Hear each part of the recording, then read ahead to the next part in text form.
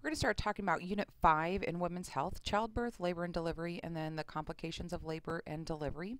This is going to be covering chapters 15, 16, 17, and 18 of your um, Women's Health book things to think about. Um, when you're thinking about the woman that is ready to give labor, you need to be thinking about uh, the station where the baby is at related to mom's ischial uh, spines, how the baby is coming down in the pelvic pelvic inlet.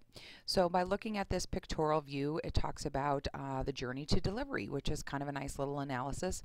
And this picture is uploaded to you uh, on your doc sharing page. So if you want to print this out and look at it a little more closely, you certainly can. The thing to remember when we are talking about um, station, station mean, meaning how far up or down in mom's pelvis is that baby. So when we're looking at the negative numbers right here at the top by the F, um, that's going to mean that the baby is very high. So floating high, um, up high in the pelvis. Uh, when you, the care provider is doing a cervical vaginal exam, Oftentimes, they're not able to feel the baby because the baby is so high up in the pelvis. As these numbers become more positive, so zero station um, is when we see that the baby is halfway there. Doing vaginal exams is going to be very easy, um, probably just by inserting your fingers, um, maybe a inch or two, you will be able to feel the head.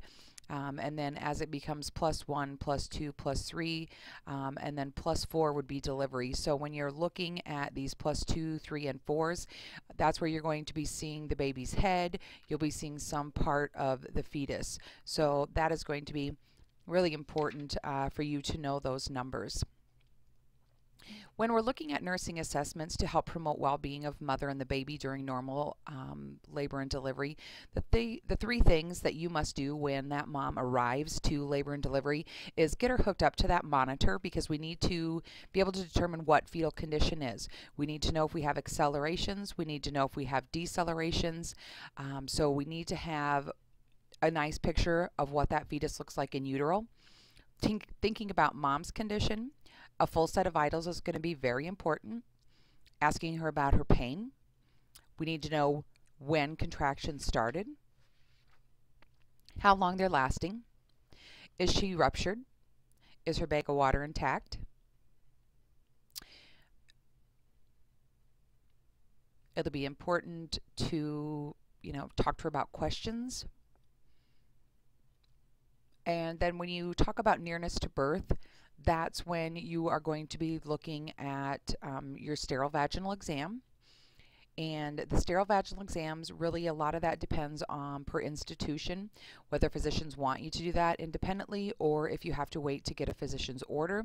But those are that the nearness to birth is going to be how far dilated, so how, how open is her cervix, how effaced is she, how thin is that cervix, and then the fetal station. So is she at a minus three, very high and posterior, or she had a plus two where you go in and check her and you're able to see the head of the fetus?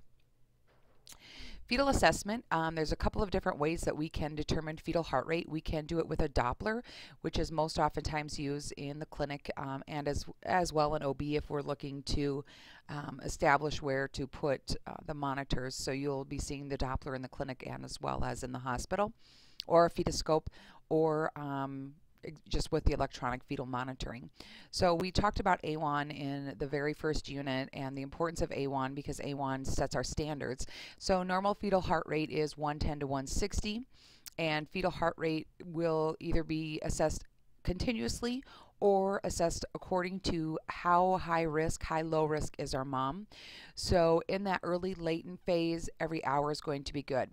Um, you can dop tone, hook up to the monitor. Um, when she's in active phase, every 30 minutes, and then that second stage, um, every 15 minutes is going to be important. And then while she's pushing, um, you'll probably document even more frequently on those uh, fetal vitals fetoscope and Doppler scope so you can just see a couple of different pictures.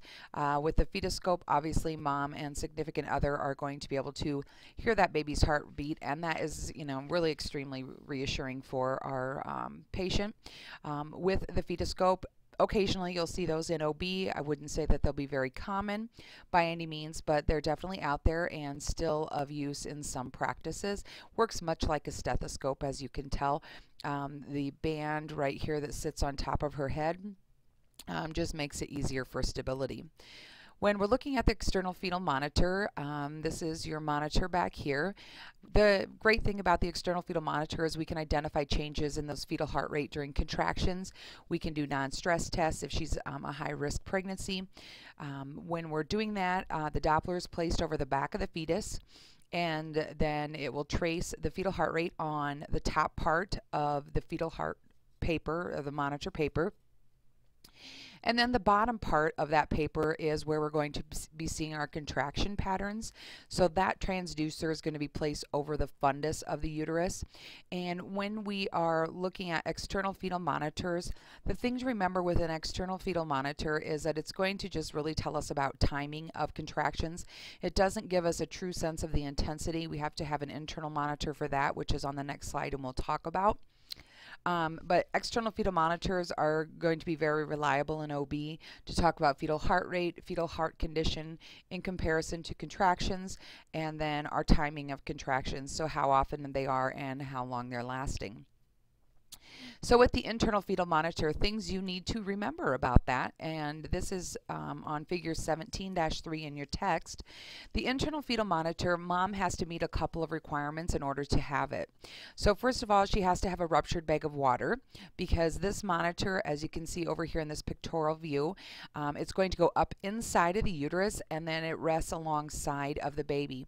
Um, so she has to have a ruptured bag of waters and then she needs to be at least one to two centimeters dilated because the physician has to get their hands, um, has to do a vaginal exam and then kind of open that cervix up and then slide the internal monitor um, up alongside of the baby's head. Internal monitors can only be um, placed by physicians. Nurses can do scalp electrodes, but the physicians have to do the internal um, IUPC. So um, the also the other um, thing that we need to look at is then that internal electrode, which is a spiral electrode that is applied to the fetal scalp, and that gives us a much clearer or a much better um, determination of how the baby is doing or how the fetus is doing in utero. And nurses can place those um, internal electrodes. And we will um, bring some examples of the internal um, IUPC as well as the spiral electrode into the classroom so you are able to get some hands-on and take a look at those. So the uterine catheter, um, when we're looking at that, that's referred to as an IUPC, intrauterine uh, pressure catheter. And it's very pressure sensitive so it's placed up alongside of the baby in, um, inside of the uterus. And then what that's going to detect is the amount of pressure that those contractions are having uh, inside of the uterus. So when we want to know true intensity of contractions, we have to have an internal fetal monitoring. So assessing fetal heart rate, uh, this slide depicts uh, some certain times that we absolutely should be assessing fetal heart rate. So right after rupture of membranes, and I'm not saying, you know, if you have a woman coming in from home that um, she needs to be alarmed, but she definitely, you know, we educate them to come in and uh, to be assessed um, once they've ruptured at home. So we do want to assess heart rate immediately after rupture before and after activity. So be ambulation to the bathroom, up and take a shower, bath, anything like that. Obviously before and after medication, especially when we're talking about the administration of anesthesia. The anesthesia does cross the placental barrier and so you will see a decrease in fetal heart rate variability. So it is important to document where your fetal heart rate was before administration of analgesics and then where you're sitting um, once anesthesia um, has started to take effects of mom. We should be looking um, after vaginal exams or if we have excessive tachysystole uterine contractions. Other things with preterm infants, maternal fever, you will see a rise in fetal heart rate when mom has um, fever. So looking at that in fetal infections, maternal stimulant drug use. So if you're looking at cocaine, methamphetamine, um, some of those stimulants, a lot of caffeine, which is really not uncommon to see um, those increased fetal heart rates. And then looking at those decelerations, um, if they are persistent after the end of the contraction. And remember, those are going to be called late decelerations because they nadir or peak after uh, the peak of the contraction. So those are going to be things that we need to continue to assess and reassess when we're looking at babes.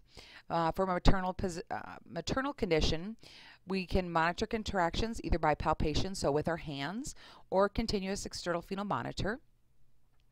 We can uh, monitor as she progresses through labor, either by vaginal exams or um, her behavior. A lot of the vaginal exams um, are going to be done by you, the nurse, but it's going to be very much physician preference. So as you get out in the field and as you become practicing nurses, you do kind of have to, you know, you need to gauge what your physicians are wanting from you and what their expectations are. I know we would like to see her void every couple of hours.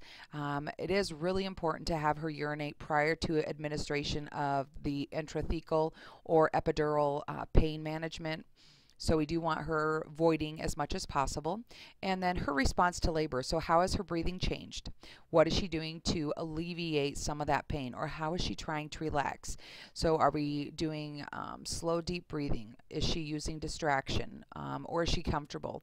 And then looking for verbal and nonverbal cues. And just recall that information from when we've discussed pain and um, assessing pain. So is she crying? Is she fearful? Um, looking at those things. We, as far as her vital signs go, if she has a temperature greater than 100.4, oftentimes in a pregnant woman that is associated with infection, infection. So we're going to need to um, be calling our physician and letting them know, especially if you have a woman that is more than 24 hours ruptured. Really important to be talking to your physician about that. If she does have an elevated temperature, um, we are going to be rechecking that every one to two hours, as you can see on the bottom of this slide.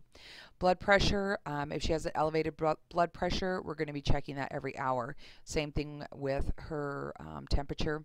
We want to be making sure that those things aren't increasing and that we could have the possibility of um, her becoming eclamptic and having a seizure as that blood pressure continues to rise. So we definitely want to make sure that when we have abnormal findings in our OB patients that we are taking the time to recheck those call our physicians and keep our physicians informed. So that all goes back to that collaboration, collaborative care, communication, um, and making sure that everybody is informed of your patient's progress. So when we're talking about assessing uh, nearness to birth, things to be aware of, um,